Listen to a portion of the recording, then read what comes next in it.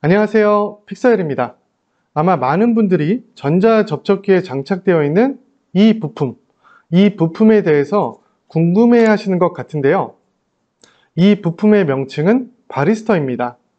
각종 자료를 찾아보면 바리스터는 전자접촉기의 액세서리 부품 중 하나로 전압변동이나 과전압으로부터 전자접촉기 코일뿐만 아니라 연결된 회로의 전기 부품들을 효과적으로 보호하는 것으로 알려져 있습니다.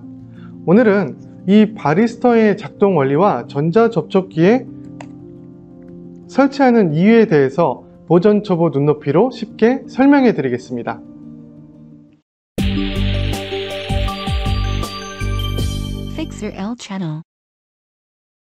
먼저 바리스터란 용어에 대해서 알아보죠. 바리스터의 어원은 variable과 register를 줄여서 바리스터라고 부른답니다. 이는 저항이 변화하는 부품이라는 것을 의미하고요. IEC 국제전기 표준 도면에서는 이런 기호로 표시합니다. 바리스터는 안정적인 전압 범위에서는 높은 저항값을 유지하며 반대로 과전압이 발생하면 급격한 저항값 하락을 통해 전압을 안정화시킨다고 합니다. 이는 물배관 내에 고압이 형성되면 밸브를 열어 물을 드레인시키는 릴리프 밸브와 유사한 역할을 하는 것으로 비유할 수 있습니다. 한마디로 바리스터는 전압 밸브인 셈인 거죠. 지금부터 편의를 위해서 전자접촉기를 짧게 MC라고 줄여서 부르겠습니다. 일반적으로 바리스터는 MC의 코일 전원 회로에 병렬로 연결해서 사용하는데요. 그렇다면 이 바리스터가 구체적으로 어떻게 전기 부품들을 보호하는지 간단한 실험으로 알아보겠습니다. 자, 여기 24VDC 직류 전기로 동작하는 MC가 하나 있습니다. MC의 플러스 단자는 power supply의 플러스 단자와 연결이 되어 있어요. 그리고 MC의 마이너스 단자에는 push button이 달려 있고 push button을 경유해서 power supply의 마이너스 단자와 연결되어 있습니다.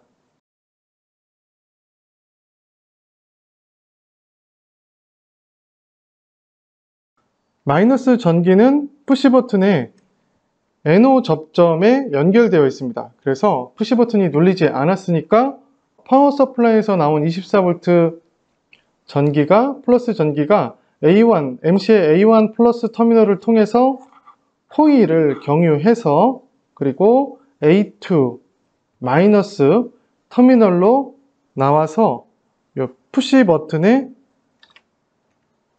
여기까지 그죠? 3번 접점까지 연결이 되어 있을 거예요. 자, 이 상태에서 적색 리드를 A2 마이너스에 연결하고 그리고 검정색 리드를 power supply에 마이너스 단자에 연결했거든요. 이 상황에서는 보시다시피 세로 눈금 하나가 10V니까 24V가 출력되는 걸 확인할 수 있어요. 제가 push button을 동작시켜 볼게요.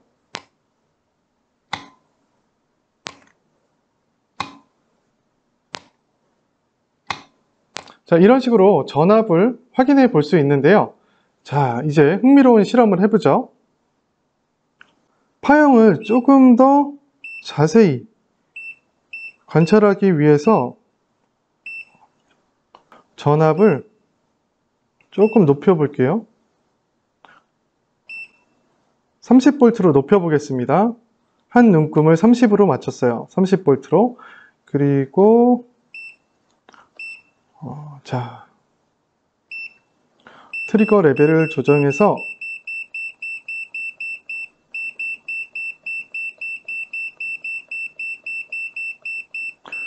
대략 한 50V가 전압이 50V가 넘어가면 파형이 잡히게 어, 그렇게 트리거를 세팅했습니다. 예. 그리고 트리거 모드를 예, 싱글로 잡아 볼게요. 그리고 마그네틱을 MC를 여자 시켰다가 어, 소자 시켰어요. 여러분 보이시나요? 한 눈금이 30V라고 그랬죠. 지금 60V, 90V, 120V를 뚫고 나갔어요. 현재는 바리스터가 연결되어 있지 않은 상태의 MC를 동작시키면서 다시 말해 MC가 소자됐을 때 이렇게 전압이 엄청난 전압이 올라가는 걸 확인할 수 있죠. 얼마까지 올라가는지 전압 range를 수정해서 다시 한번 해볼게요. range 한 100V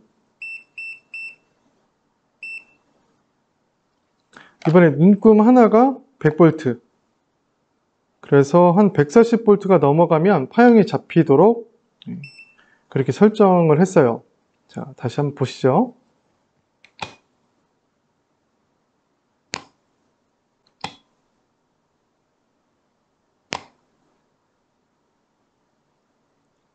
자, 파형이 나왔는데요. 100V, 200V, 300V, 400V. 그래도 디스플레이를 뚫고 올라가네요. 뭐 몇 볼트까지 올라가는 거야? 자료를 보면 순간적으로 뭐 1000V 이상까지도 올라간다고 하니까 제가 한 눈금을, 세로 눈금을 1000V로 다시 설정을 했습니다. 볼게요.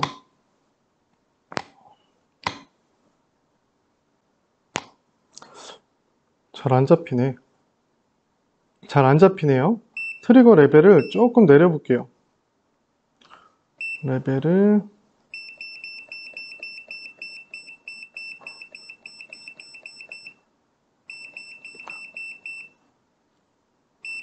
한 500V 이상 올라가면 파형이 잡히게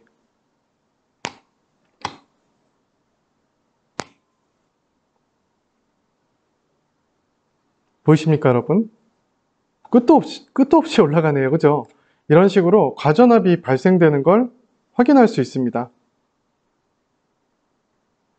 자 이런 식으로 바리스터가 장착되지 않은 MC에선 스위치가 오프될 때 아주 큰 전압이 발생되는 것을 확인할 수 있습니다.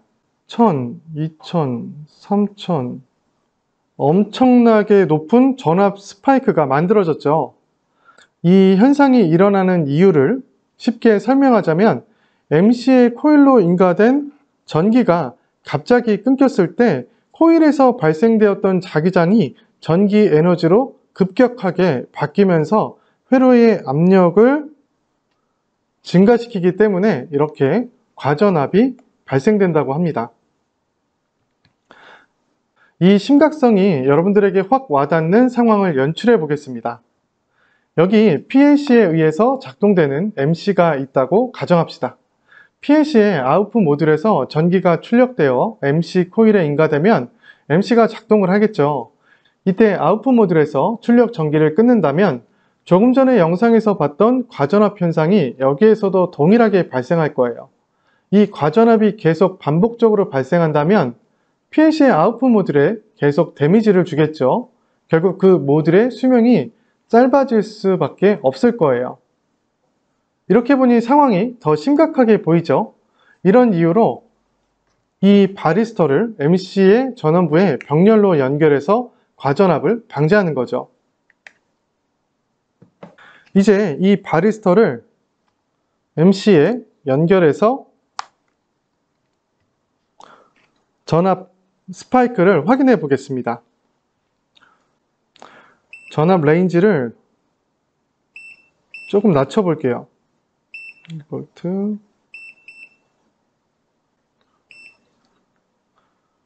트리거 레벨을 10V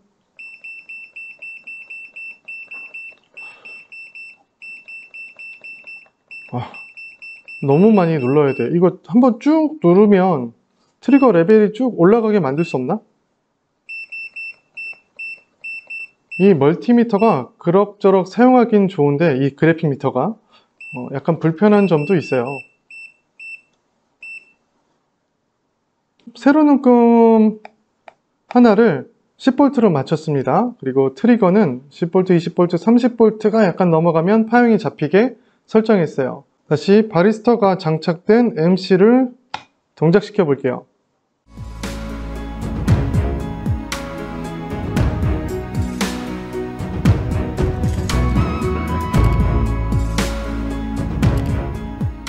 다시 바리스타가 장착된 MC를 동작시켜 볼게요.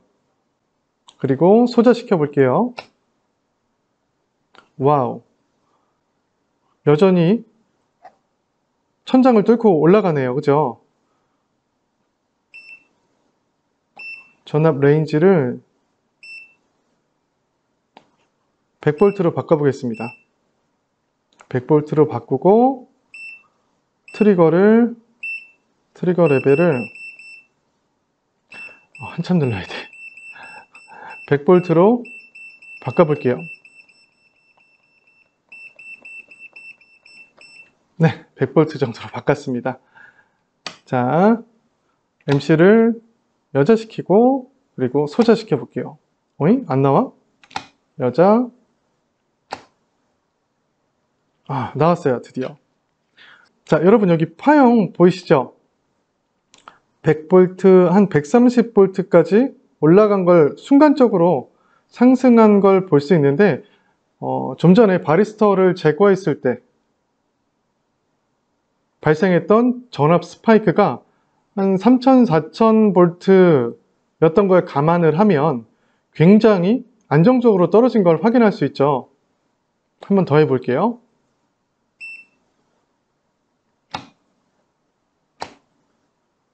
어, 안 잡히기도 해요.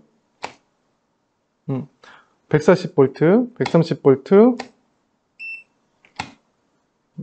조금 트리거 레벨을 어, 예, 좀 낮춰봐야 될 것 같긴 한데 예, 아주 안정적으로 나오죠.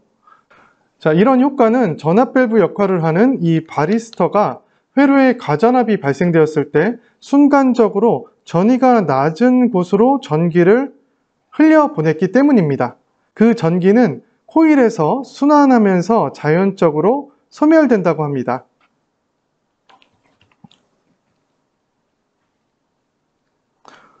이런 형태의 과전압을 우리는 서지라고 부르고 바리스타와 같은 부품을 이용하여 서지로부터 기기와 회로를 보호하는 것을 서지 프로텍션이라고 합니다. 그리고 이런 기능을 하는 부품들을 SPD, Surge Protector Device라고 부릅니다. 자, 마지막으로 한 가지 더 설명드리자면 일반적으로 우리가 MC에 사용하는 바리스터는 전압의 극성과 상관없이 전압의 크기로만 저항이 결정된다는 거예요.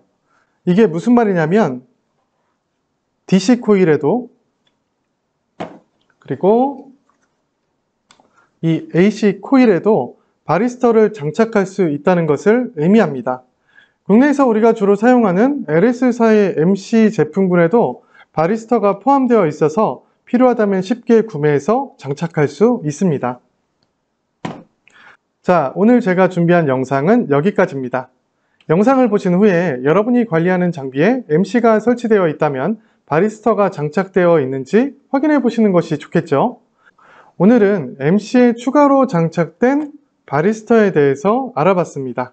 저는 다음 영상에서 뵐게요. 안녕히 계세요.